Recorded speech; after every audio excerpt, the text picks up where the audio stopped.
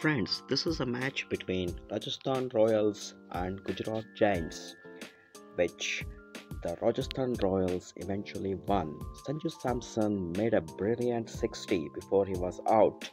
Then came Jurel, who batted beautifully, picking the odd boundaries and odd sixes. In his company was Hetmyer, who studied the innings, lofting some huge sixers of Alzarri Joseph and Noor Ahmad. Hetmyer went on to make a brilliant 50 for his team, which eventually won the match.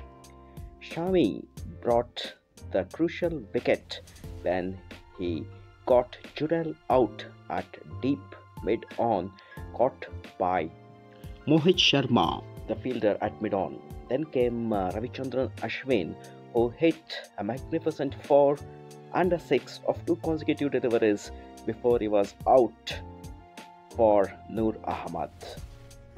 And it was agony for Ashwin as he departed the crease, but still, Rajasthan needed just 7 runs of 7 balls.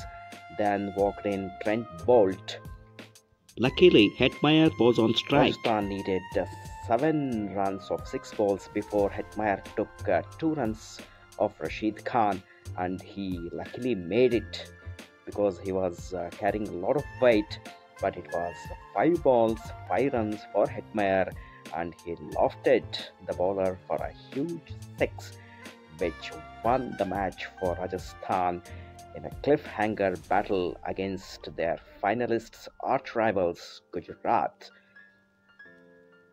What a match, what a turnaround.